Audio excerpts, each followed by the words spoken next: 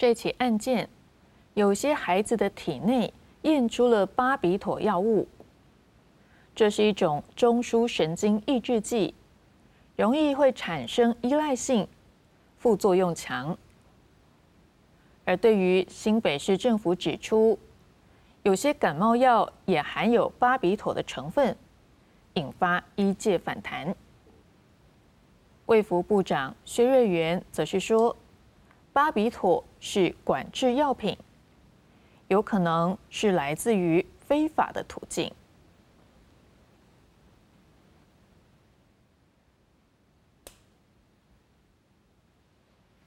像感冒药啊，一些胃肠药的部分，那另外像止痛药或是这个呃镇定类的药物里面，会有这样的一个成。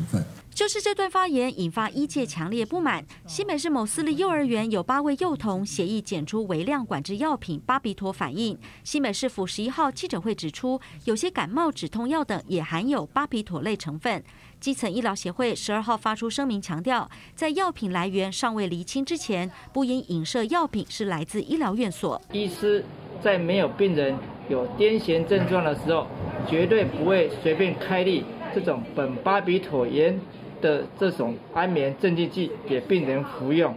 医师表示，巴比妥酸盐类药品是一种中枢神经抑制剂，早期用来治疗焦虑、失眠、癫痫等。因为胶囊外观颜色被滥用者俗称为红中青发，但是因为副作用强，现在都改用其他新药品取代。医师提醒，这类药品如果过量服用，很可能会造成嗜睡、意识不清，甚至致死。目前被列为第三级管制药品。本来就是都已经在管了，嘿。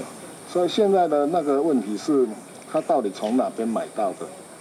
是这个问题，应该是可很可能是来自非法的途径。一界声明指出，该幼儿园的药品来源可能是合法依健保规定取得的其他人，或是违法自费贩卖的药局、医疗院所，甚至可能是违法的网络购物。呼吁减掉，尽快厘清，以免造成社会大众恐慌。